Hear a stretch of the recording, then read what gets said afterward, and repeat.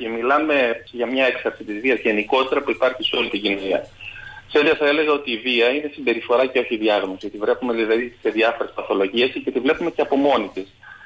Είναι πολύ σημαντικό και αποτελεί παρακαταθήκη, θα έλεγα, για την κοινωνία η πρόληψη του σχολικού εκφοβισμού. Άλλωστε, όπως το είπαμε και προηγουμένως, η πρώιμη παρέμβαση στο σχολικό περιβάλλον διασφαλίζει στο ότι η όποια μετατροπή του σχολικού εκφοβισμού στο παδική βία, πράγμα το οποίο το έχουμε δει τελευταία, σε ενδοοικογενειακή βία ή ακόμα και σε εργασιακό εκφοβισμό, γιατί υπάρχει μεγάλη συνάφεια μεταξύ του σχολικού και του εργασιακού εκφοβισμού θα είναι περιορισμένη αν όχι ανύπαρκτη. Δηλαδή γενικότερα αν κάνουμε πρώιμη παρέμβαση στα σχολεία από ειδικούς οι οποίοι θα είναι σταθεροί και αυτό επιμένω στο ότι πρέπει να είναι σταθεροί για πολλά χρόνια ουσιαστικά σε ένα σχολείο δεδομένου ότι η κυρία Δουργεράκη ένα πρόγραμμα παρέμβασης πρέπει να κρατάει 3 με 5 χρόνια ουσιαστικά ένα πρόγραμμα παρέμβασης. Άρα λοιπόν αυτό τι σημαίνει. Σημαίνει πρώτον σταθερότητα ε, και του, του, του, του, ε, του, του προσωπικού το οποίο πρέπει να υπάρχει, του ειδικού προσωπικού που πρέπει να υπάρχει και δεύτερον συνεργασία προφανώς των σχολικών βαθμίδων. Ε, άρα λοιπόν πρέπει να υπάρξουν παρόμοια προγράμματα. Στα, σταθερότητα του προσωπικού εννοείται ότι ο άνθρωπος ο οποίος ε, ε, εκπαιδεύεται ή διαχειρίζεται κάποιες υποθέσεις να είναι εκείνος ο οποίος μπορεί να παρακολουθεί τα παιδιά και τις οικογένειες μαζί. Ακριβώς. Δεδομένου ότι πρέπει να υπάρχει συνεργασία ειδικών, σχολείων και οικογένειας. Mm. Αυτό το τρίπτυχο πρέπει να υπάρχει, τους ώστε να έχουμε τα καλύτερα αποτελέσματα. Mm.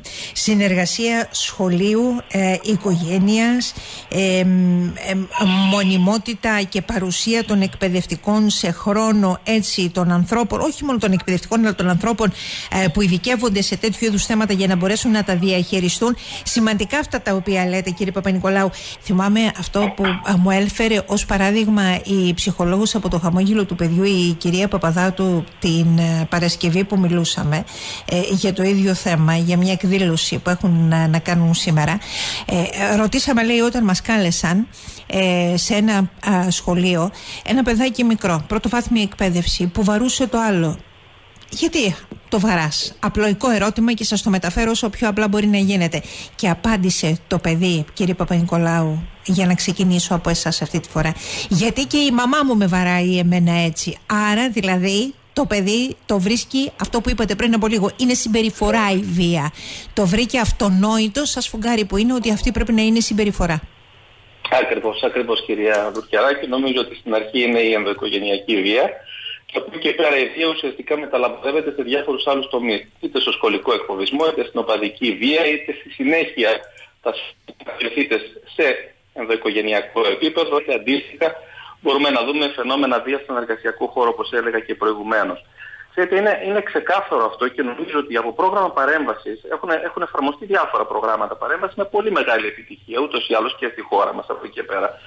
Σε πρόγραμμα λοιπόν παρέμβασης ασχοληθήκαμε με τον σχολικό εκφοβισμό, φάνηκε ότι η εκπαιδευτική στι προσπάθειες αντιμετώπισης των περιστατικών, θα έλεγα, της ενδοσχολική βίας και εκφοβισμού, αυτό που τους δυσκολεύει περισσότερο είναι η συνεργασία με τους γονείς των θητών. Και ξέρετε γιατί. Γιατί οι θήτες είναι αυτοί οι οποίοι δέχτηκαν ουσιαστικά ενδοοικογενειακή βία με όλες τις μορφές της ενδοοικογενειακής βίας. Από την πιο απλή, εντό εισαγωγικών πιο απλή μπορούμε να πούμε την παραμέληση, μέχρι τη σωματική βία, μέχρι την ψυχολογική βία ή ακόμα δυστυχώς και μέχρι τη σεξουαλική βία. Άρα λοιπόν παιδιά τα οποία δέχτηκαν βία με κάποιο τρόπο προσπαθούν να εξάγουν αυτή τη βία σε κάποιους άλλους όμοιους τους μέσα σε μια διαδικασία η οποία δεν κάνει τίποτα περισσότερο παρά συνεχίζει αυτό τον αέναο κύκλο της βίας, κύριε Δουργεράκη. Αυτά τα περιστατικά, έτσι όπως ε, τα καταγράφει, τα ε, περιγράφει και ο κύριος ε, Μακράκης από τη δική του την πλευρά, φτάνουν σε εσάς για βοήθεια, γιατί μέχρι κάποιο σημείο σχολικούς συμβούλους δεν είχαμε, που θα έλεγε κάποιος ότι θα μπορούσαν να βοηθήσουν.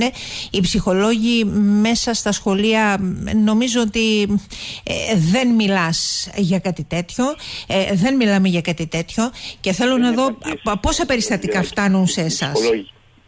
Ορίστε.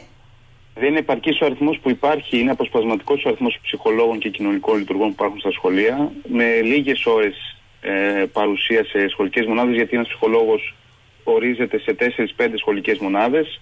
Μπορεί δηλαδή να πηγαίνει μόνο 2-3 ώρες τη εβδομάδα σε ένα σχολείο. Επομένως, είναι ανεπαρκής ο χρόνος παρουσίας του ψυχολόγου, άρα ουσιαστικό, το ουσιαστικό έργο για να βοηθήσει ε, και σε τέτοιου είδους περιστατικά. Κύριε Μακράκη, από τη δική σας την ε, πλευρά ε, έχετε εκπαιδευτεί στην αντιμετώπιση αυτών των περιστατικών; Όχι, δεν είναι οι επιμορφώσεις αποσπασματικές είτε με την αυτενέργεια του ίδιου του εκπαιδευτικού να ενημερωθεί είτε επιμορφώσεις που έχουν γίνει από σχολικούς συμβούλους κατά το παρελθόν είτε από την το Υπουργείο Παιδείας είναι κατά καιρούς κάποιες που έχουν γίνει. Αποσπασματικά όμως υπογραμμίζω. Ε, και ε, θέλω να σημειώσω πέρα από αυτό δηλαδή ότι είναι αποσπασματική η διαδικασία επιμόρφωση τέτοιου είδους ζητήματα ταυτόχρονα είναι πολύ σημαντικό και αυτό που είπε ο, ο, ο ψυχολόγος ότι ε, απαιτείται συνέργεια εκπαιδευτικού με την οικογένεια και σε πάρα πολλές περιπτώσεις όντως υπάρχει δυσκολία της συνεργασίας με, με γονείς. Ε, το τρίτο σημείο είναι αυτό που σας είπα ότι είναι το ανεπαρκές προσωπικό, το, το υποστηρικτικό και διεπιστημονικό προσωπικό που πρέπει να υπάρχει, δηλαδή των ψυχολόγων και των κοινωνικών λειτουργών που δυσκολεύουν και στην πρόληψη αλλά και στην αντιμετώπιση Μάλιστα. τέτοιου είδους φαινομένων. Αλλά κυρίως αυτό που είπατε πριν από λίγο, ότι και το νέο νομοσχέδιο φαίνεται να ε, μένει πολύ περισσότερο στους τίτλους για την αντιμετώπιση της ενδοσχολικής ε, βίας ε, κύριε Μακράκη. Αυτό δεν είπατε πριν από λίγο αν δεν κάνω λάθος. Στους τίτλους και κυρίως στην καταγραφή και όχι στην αντιμετώπιση. Αυτό. Δηλαδή το ότι να, το, να υπάρχει πλατφόρμα για την καταγραφή καταγγελιών προφανώς να υπάρχει. Εδώ όμως πρέπει να υπάρχει ένα ελεγκτικό σύστημα γιατί οι καταγγελίες αυτές θα είναι είτε επώνυμες είτε ανώνυμες. Άρα θα πρέπει να υπάρχει ένα ξεκαθάρισμα αυτών των καταγγελιών και μια διεπιστημονική ομάδα που πρέπει να στελεχώνει τι σχολικές μονάδες προκειμένου να, και αυτή να τα ελέγχει και αυτή να συνεργάζεται με τον εκπαιδευτικό και ο εκπαιδευτικός που είναι το, βασικό, το βασικό μέλος προφανώς σχολικής κοινότητας να ε, συνεργάζεται με αυτή την επιστημονική ομάδα προκειμένου αυτά να αντιμετωπίζονται. Χωρίς αυτό ε, η απλή καταγραφή δεν επιφέρει και λύσεις. Mm-hmm.